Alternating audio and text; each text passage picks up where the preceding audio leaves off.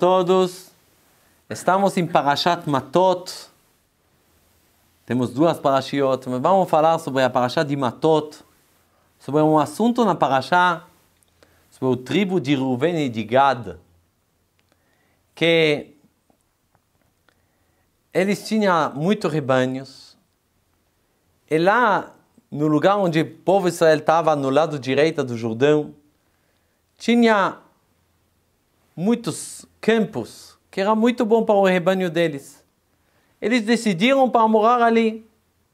Então foram para Moshe Rabbeinu, falaram para ele, Moshe, por favor, a gente não quer passar, atravessar o Jordão. Deixa a gente aqui. Aí Moshe fica bravo com eles.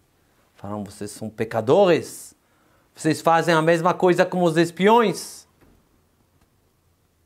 Ele, fica, ele fala muito, muito mal muito forte contra eles. Aí pergunta por quê?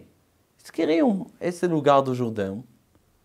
Então, por que precisa agora ficar bravo com eles?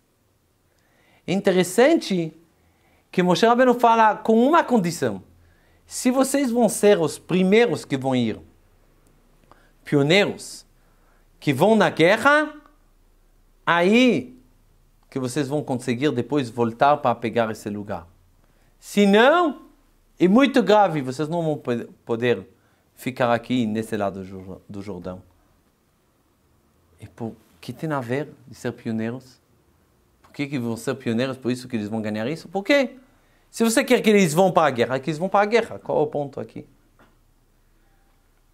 Verdade, vamos entender. Já que Moshe Rabbeinu, ele está comparando eles com os espiões que falam mal da terra, aparentemente não tem nada a ver. Vamos entender qual era o pecado dos espiões. Os espiões foram lá para ver a terra de Israel, acabaram de ver gigantes. Esses gigantes não são só gigantes, certo? Está escrito que antes do dilúvio, os anjos falaram mal sobre o, o ser humano. Falaram, Hashem, a gente já te falou antes de criar o ser humano que não vale a pena. Você está vendo? Estão, estão pecando. Aí Hashem falou para eles: Ah, vocês estão falando contra o ser humano? Vão ver vocês, pode descer lá. Vamos ver se vocês vão pecar. É verdade, foram lá, desceram, chamava um Uzá, outro Azael. Desceram e pecaram ainda mais que o ser humano. Mas nasceram para eles pessoas que são diferentes totalmente, porque eles eram anjos. Então, nasceram para eles gigantes, estão em cima da natureza. E tão em cima da natureza que eles conseguiram sobreviver ao dilúvio. Então, quando eles estão chegando, o povo de Israel em Eretz Israel vendo os gigantes que sobreviveram, que os pais deles sobreviveram ao dilúvio, quer dizer que são tão fortes isso é incrível. É verdade, deu medo. Chegaram frente do povo de Israel e deu medo. Tinha medo, falava, como a gente vai conseguir conquistar? Impossível. Então, qual o ponto? Qual é o erro aqui? Tinham medo. Tem problema de ter medo? Alguém tem medo de uma coisa? Tem problema disso? Não vou conseguir. O que eu posso fazer? Eu tenho medo. Então, tem um problema com isso? A resposta é o seguinte: de ter medo não tem problema. Mas o que o medo te leva? Isso é a diferença. Se o medo te leva para ficar deprimido, ficar na cama sempre, assim ficar deprimido sem fazer nada, uma pessoa que acontece isso com ele, quer dizer que o corpo, que esse corpo que ele tem, ele leva ele sempre para baixo, sempre quer dormir, o corpo sempre quer só comer não fazer nada. Quando tem, vai sair para férias e já pensa sobre as outras férias e quer sempre descansar, sempre falar que é cansado. Então ele deixa o corpo se levar para onde? Para ficar sem fazer nada. Isso é uma coisa ruim. Mas se o medo dele tem medo, tudo bem, é natural. Mas leva ele para fazer coisas para melhorar a situação dele, isso é uma coisa boa. Esses espiões, quando eles falaram, eles falaram para o povo de Israel, colocou medo deles, mas colocou uma coisa muito ruim, muito perigoso. A mensagem deles é melhor não fazer nada, melhor ficar no lugar. Não fazer nada quer dizer ficar se ligado com o corpo mortal que eles têm e não se ligar com a alma viva que quer viver, que quer fazer, quer fazer iniciativa, quer fazer coisas. Por isso é tão grave o que eles fizeram os espiões, porque a mensagem deles temos medo, então vamos não fazer nada. Isso é muito perigoso. A mesma coisa com o nega do Bnei Ruven. Quando chegaram, eles querem esse lugar mas tem mais uma coisa que eles passam uma mensagem para todo o Israel. A gente não vai fazer nada. Vocês vão conquistar, a gente não vai fazer nada. A gente vai ficar com conforto. O mais confortável é isso que a gente vai fazer. É isso um ponto, mensagem que estão passando para o Israel. Isso é muito grave, porque eles acabam de causar para o Am Israel também de não querer fazer, de se ligar com um conforto, com um descanso e de procurar cada momento e momento que tem, cada oportunidade para poder descansar e de não fazer. Isso é a coisa mais grave que tem. Então, por isso que Moshe Rabbeinu fala, para poder consertar essa mensagem que vocês estão passando Am Israel. Não somente que vocês vão ir passar, atravessar para fazer a guerra, vocês vão ser os pioneiros. Vocês vão fazer iniciativas. Vocês vão ser os primeiros que vão ir para a guerra. Vocês vão mostrar que não. De ter lá o lugar, o lado direito do Jordão, não tem problema. Se vocês, através disso, faz o povo de Israel querer guerrear, querer conquistar o povo de Israel, ou a terra de Israel querer de ser ativo. Se vocês vão causar de ser parado, paralisado, isso é uma coisa muito grave.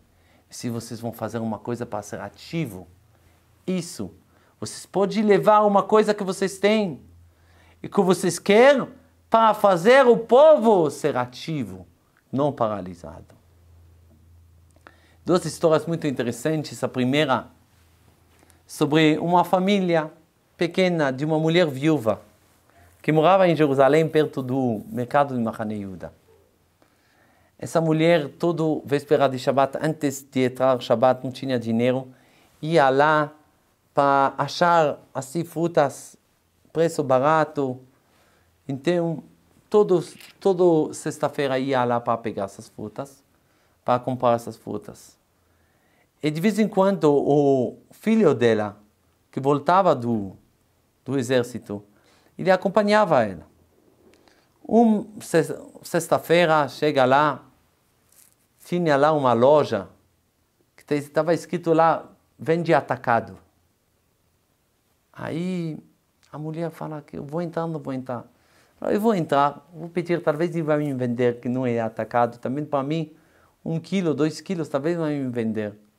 Ela entra lá, ela pede, posso comprar? O vendedor olha ela e fala, você não está vendo ali a placa? Está escrito atacado? Por que você está me fazendo perder meu tempo? Sai daqui. O filho dela estava assim, chocado, triste. Que aconteceu com a mãe dele? Estava totalmente abalado. Chegou para casa, estava para entrar o Shabat, estava abalado. De repente falou, um, um segundo. Pare tudo. Mamãe, eu tenho uma ideia. Domingo, eu vou ir lá comprar um depósito. Eu vou vender atacado, mas vou vender também para as pessoas que não são atacadas, que precisam. Eu vou pegar, vou começar. De domingo eu vou começar. Esse jovem começou a alugar um lugar e pouco a pouco cresceu. Mais uma loja, mais uma loja, mais uma loja. Até que ele ficou tão grande que hoje todo mundo conhece ele. Ele chama Rami Levi. Esse Rami Levi começou assim. Poderia ficar abalado na cama.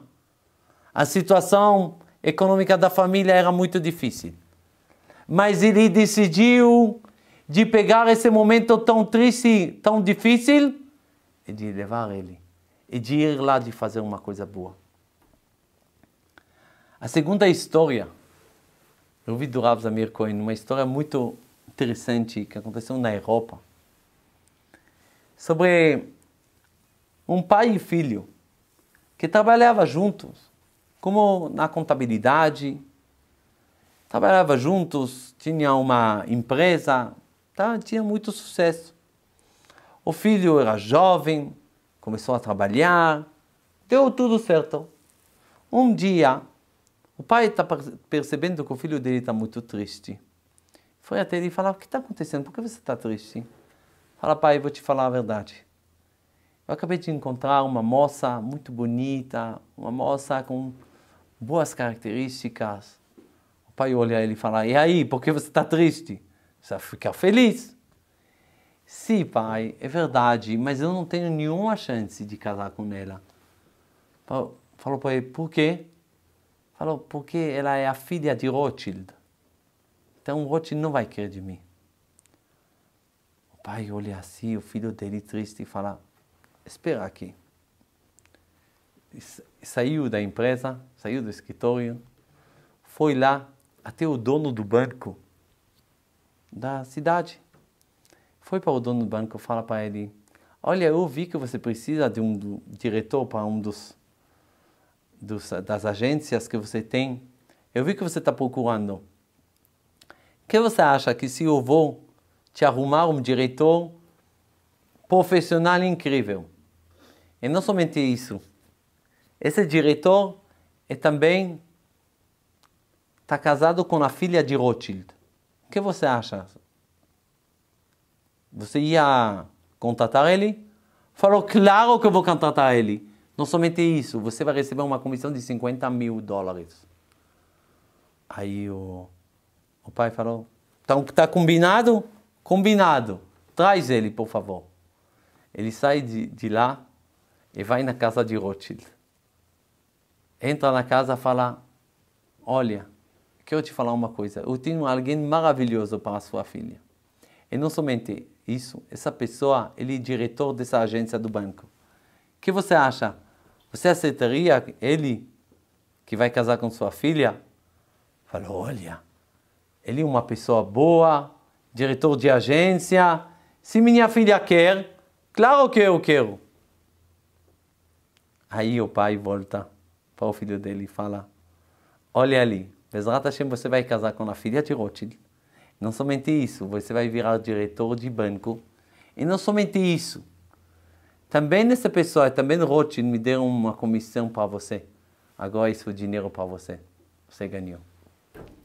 Isso é incrível como alguém pode mudar tudo. Ele está preocupado de uma coisa. Muitas vezes o Itara faz a gente paralisado. A ideia de acreditar, de ter uma imuná Hashem. Se aconteceu uma coisa, qualquer coisa que aconteceu, a gente precisa transformar isso para uma coisa ativa, para mudar aí que mesmo que começou com uma preocupação, mas pode se virar, se virar para uma coisa boa. Então o, o segredo, mensagem nossa paraxá, qualquer coisa que te leva para coisa paralisado, se afasta. Para ficar paralisado sem fazer nada, se afasta. Uma coisa que te leva para ser ativo, fazer uma iniciativa, isso é a coisa positiva. Shabbat Shalom.